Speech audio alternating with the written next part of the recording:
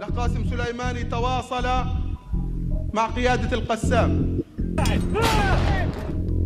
وتواصل مع قيادة السرايا كما نشر في الأخبار. الأخبار صحيحة.